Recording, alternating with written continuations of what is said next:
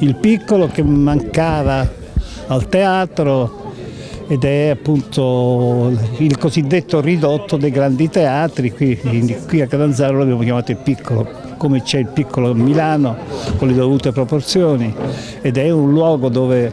si possono fare iniziative di carattere culturale ma anche artistico, nel senso cioè può arrivare qui un pianista famoso, si può dire, fare la, serata per un libro come succede stasera eh, con, con, il mio, eh, visto che ho la veste anche di sovrintendente del teatro. Questa è la ragione per cui questo piccolo teatro, questa piccola bomboniera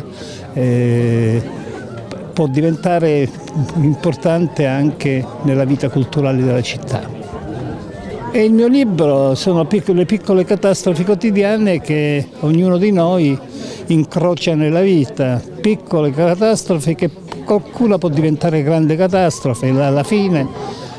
mentre invece le grandi catastrofi non possono mai diventare piccole catastrofi. Questo è, come si dice, eh, il, il, senso del, eh, del, libro. Sono le piccole disavventure amorose e non, e di vita quotidiana che mi sono accadute anche a me, non solo a me, ma anche intorno a me, nel lungo percorso della mia esistenza sin qui, visto che faccio 80 anni, quindi ho 80 anni, almeno su 80 anni, dunque sono 64 anni di, di professione. Sì, lo aspettavamo da tempo, ogni teatro deve avere sicuramente una sala più piccola dove potersi esercitare, ma soprattutto una sala come questa che sarà adibita anche per far esercitare, per far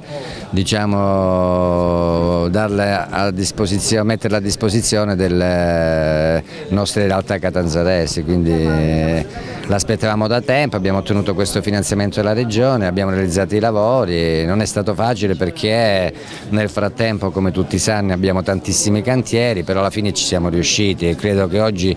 aprirlo alla città sia una cosa veramente importante.